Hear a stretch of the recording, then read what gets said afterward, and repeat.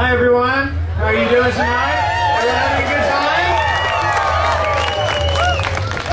Thank you guys for coming out to Austin's New Year this year. You've been a wonderful, wonderful audience.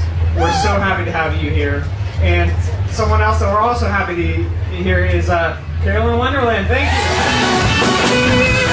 you.